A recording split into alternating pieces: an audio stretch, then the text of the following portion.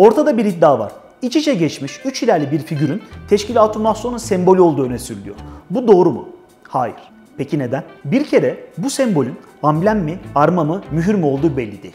İkincisi bu sembolün iç içe geçmiş üç hilal mi, üç hilalli yıldız mı olduğu da belli değil. Peki Osmanlı tarihinde bu sembole rastlamıyor muyuz? Rastlıyoruz evet. Bir silah bir de merasim kılıcı üzerinde. Fakat silahın sahibini teşkilat-ı ile doğrudan ilişkilendiremiyoruz. Kılıcın ise ithal edildiğini biliyoruz. Daha ilginci bu sembole başka kültürlerde de teşkilat-ı mahsusa kurulmadan çok önce rastlıyoruz. Osmanlı'da hilal kullanımı yok mu? Gizlilik derecelendirmeleri için var ama form olarak böyle değil.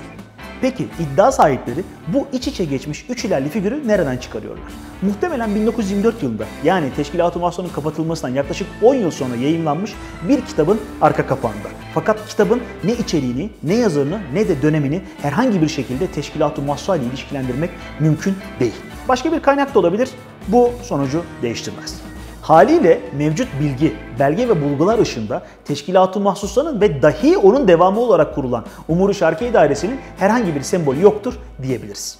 Dolayısıyla bu sembolden yola çıkarak ne Teşkilat-ı Mahsusa konumlandırılabilir ne de Türk tarihindeki gizli örgütlenmeler arasında bir süreklilik ilişkisi kurularak herhangi bir gelenek icat edilebilir. Bu figürü Teşkilat-ı Mahsusa'nın sembolü olarak kabul ettiğimiz sürece bu işin tek kazananı dijital ticaret erbabı olmaya devam edecek.